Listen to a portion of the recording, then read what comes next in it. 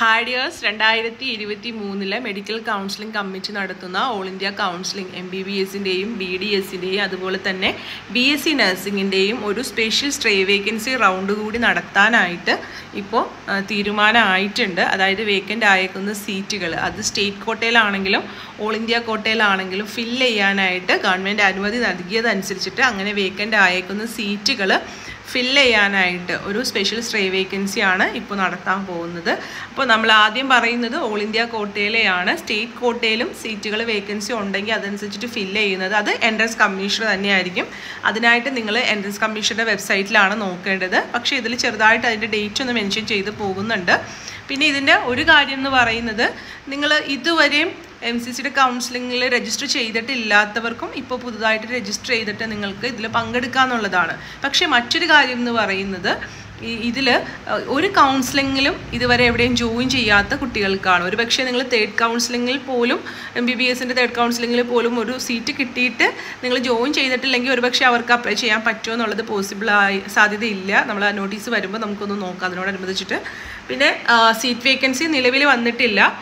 ഒരു പക്ഷേ ഉടനെ തന്നെ സീറ്റ് വേക്കൻസിയും പബ്ലിഷ് ചെയ്യും കേട്ടോ. അപ്പോൾ ഈ ഒരു കാര്യം നിങ്ങളൊന്ന് ഓർക്കുക. പിന്നെ മറ്റൊരു കാര്യം എന്ന് പറയുന്നത് നമുക്ക് ഒരു ഫീസ് ഉണ്ടെന്ന് നിങ്ങൾക്ക് അറിയാലോ ഒൻപതിനായിരം രൂപ എം സി സിയുടെ കൗൺസിലിങ്ങിൽ രജിസ്റ്റർ ചെയ്യാനുണ്ട്.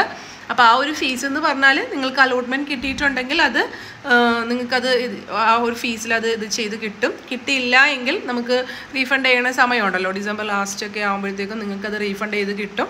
ഇനി അതേസമയം നിങ്ങൾക്ക് ഒരു അലോട്ട്മെന്റ് കിട്ടിയിട്ട് എടുത്തില്ല എങ്കിൽ ആ ഒരു എമൗണ്ട് നിങ്ങൾ നഷ്ടപ്പെട്ടു അപ്പോൾ നാളെ സീറ്റ് വേക്കൻസി ഒക്കെ വരുന്നതനുസരിച്ചിട്ട് നോക്കിയിട്ട് നിങ്ങൾക്ക് താല്പര്യം ഉണ്ടെങ്കിൽ നിങ്ങൾ കൊടുക്കാം കേട്ടോ.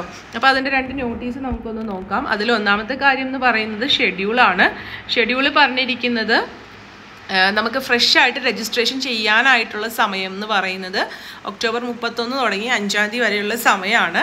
പേയ്മെന്റ് ചെയ്യാൻ നമുക്ക് മൂന്ന് മണി വരെ സമയമുണ്ട്. പക്ഷേ രജിസ്ട്രേഷന് പന്ത്രണ്ട് ഉച്ചയ്ക്ക് പന്ത്രണ്ട് മണി വരെയാണ് സമയമുള്ളത് കേട്ടോ അപ്പോൾ ആ ഒരു ടൈമിനുള്ളിൽ കാര്യങ്ങൾ ചെയ്യാൻ ശ്രമിക്കാം.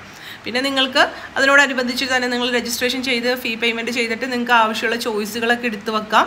ഓക്കെ അതിനും നമുക്ക് അഞ്ചാം തീയതി വരെയാണ് സമയം തന്നേക്കുന്നത് കേട്ടോ. ചോയ്സ് ലോക്കിംഗ് എന്ന് പറഞ്ഞാൽ നിങ്ങൾക്ക് അറിയാമല്ലോ നമ്മുടെ ആ ഒരു ചോയ്സ് ലോക്ക് ചെയ്യാനുള്ള ടൈമാണ് അതിനിപ്പോൾ നിങ്ങൾക്ക് ആ ഒരു ടൈമിൽ ഇവിടെ ചോയ്സ് ലോക്കിംഗ് പറഞ്ഞേക്കുന്നത് വിൽ ബി അവൈലബിൾ ഫ്രം അതായത് അഞ്ചാം തീയതി നാല് മണി മുതൽ ഇലവൻ അതായത് പതിനൊന്ന് അമ്പത്തൊമ്പത് വരെയുള്ള സമയത്താണ് പറഞ്ഞേക്കുന്നത്. ആ ഒരു ടൈമിൽ നിങ്ങൾക്ക് ചെയ്യാൻ പറ്റുമെങ്കിൽ ചെയ്യാം.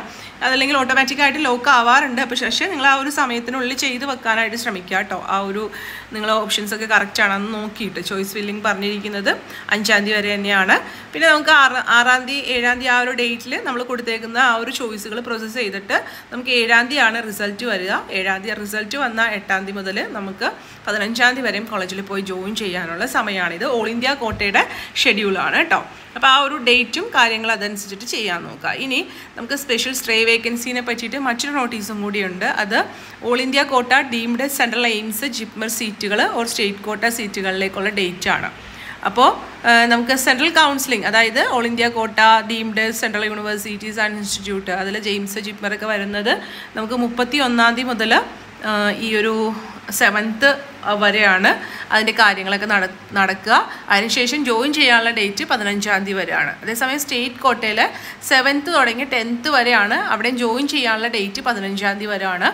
അപ്പോൾ ഈ ഓൾ ഇന്ത്യ കോട്ടയുടെ റിസൾട്ട് വന്നിട്ടാണ് സ്റ്റേറ്റിന്റെ കൗൺസിലിംഗ് ആരംഭിക്കുക. പക്ഷേ നിങ്ങൾ ഓർക്കുക ഇത് ഉണ്ടാവുന്നത് എവിടെയാണ്?